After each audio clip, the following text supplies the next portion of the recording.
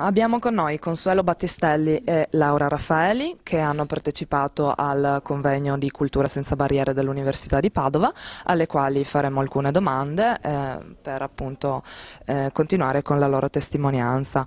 Consuelo, eh, tu sei una donna, una donna cieca, una donna lavoratrice. A te vorrei chiedere innanzitutto eh, come sei riuscita a ehm, a far sì che la tua cecità eh, non ti impedisse l'attività lavorativa e come sei riuscita anche ad affermarti nel lavoro perché ci spiegherai, fai un lavoro anche di un certo tipo. Ti passo il microfono. Grazie. Io mi occupo di, di, accessibilità, sono consulente di accessibilità nel public sector di un'importante multinazionale, posso fare tranquillamente il nome eh, IBM Italia.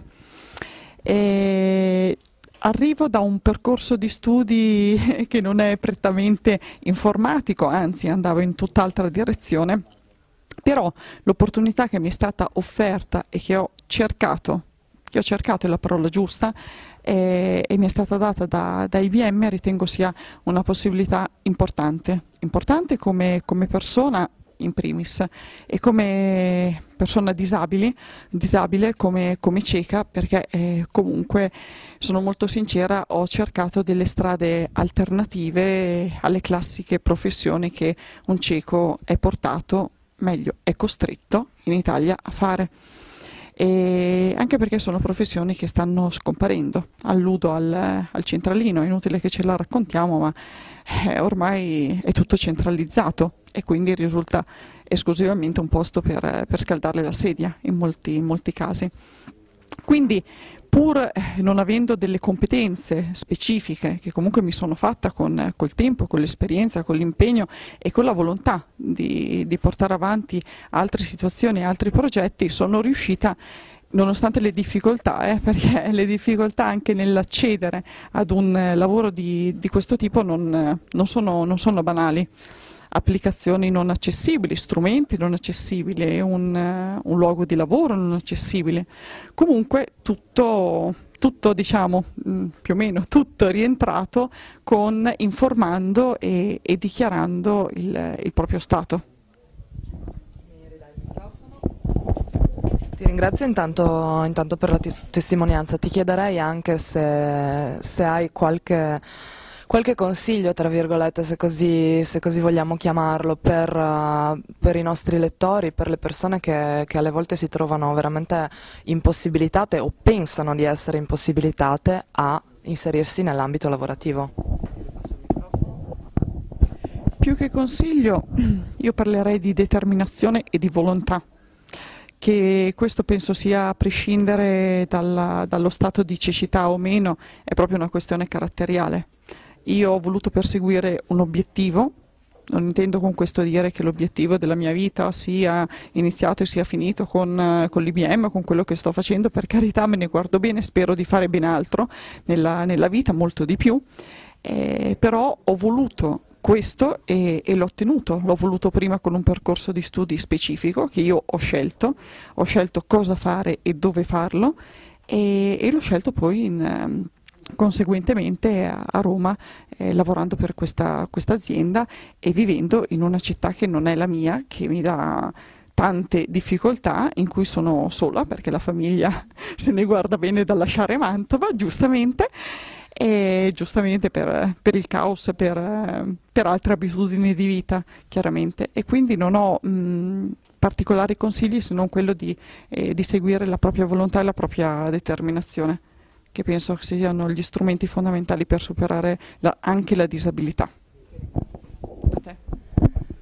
Adesso vorrei chiedere a Laura Raffaeli, eh, appunto riguardo anche il suo, in questo caso non lavoro, durante il seminario hai detto di eh, non lavorare, vorrei sapere se eh, non lavori perché non hai trovato la possibilità e il modo di farlo, però eh, altrettanto so che sei estremamente impegnata con la tua associazione eh, Blindside Project e vorrei che tu ci parlassi di quelli che sono i tuoi progetti attuali, i vostri progetti attuali e quali sono gli obiettivi che intendete perseguire. Ti passo il microfono.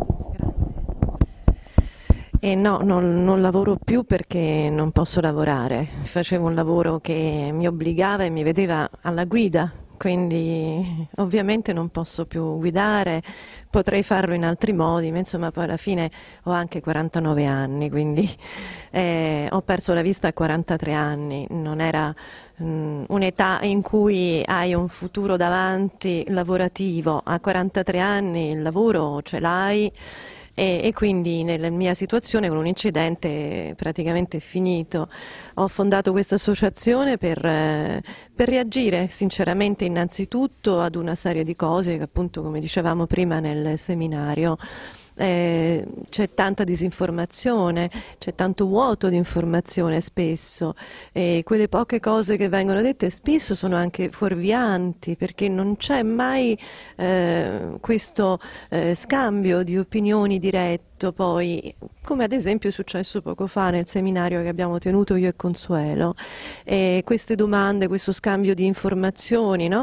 è, è molto importante e quindi la nostra è una disabilità, forse è, è, è molto drammatica. Io sinceramente non l'ho superata, non, forse non la supererò mai, non, non, mi posso accettare, non ci sono nata. Ho cercato però di, eh, di reagire e questa reazione è tutta nella Blind Sight Project, che è questa Ollus fondata online anche per essere accessibile a tutti e soprattutto anche per abbattere una serie di costi perché considerando i tempi di crisi eh, è inutile aspettare quattro anni per avere che ne so 5.000 euro per fare un evento.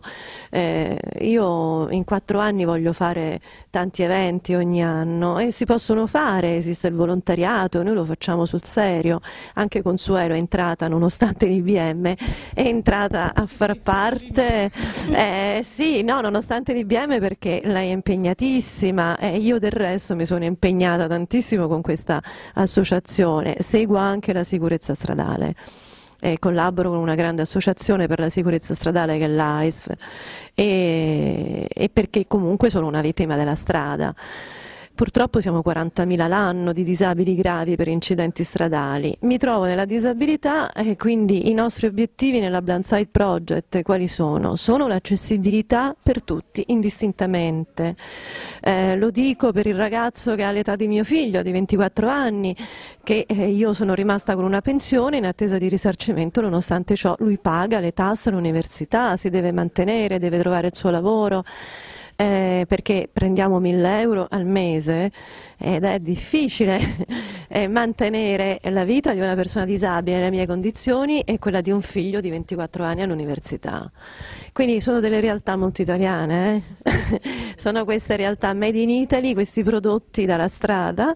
Mm, quindi dalla strada nel vero senso della parola perché è dalla strada che nasce tutto questo, nel senso che io vengo eh, investita, perdo la vista, perdo metà dell'udito e, e, e, mi rendo conto e scopro un mondo che pur essendo una persona molto sensibile e molto attenta prima, io non conoscevo, che è quello delle disabilità sensoriali, perché visivamente siamo tutti abituati ad un logo, il logo universale della disabilità è una carrozzina.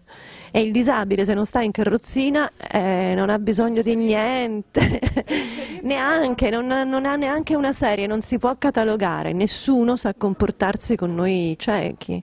E io mi sono trovata da, in, in un attimo in una dimensione che scherzando io chiamo il mondo di Quark, perché veramente entri nel mondo di Quark e io ho anche metà dell'udito che manca e quindi si scoprono tantissime cose. Eh, si scopre anche che c'è tanta disinformazione e che spesso tanti ostacoli, le nostre più grandi barriere sono eh, legate ai pregiudizi e alle barriere mentali perché eh, eh, purtroppo è stato fatto un caos, come dicevo prima nel, nel seminario, riguardo anche al come chiamarci.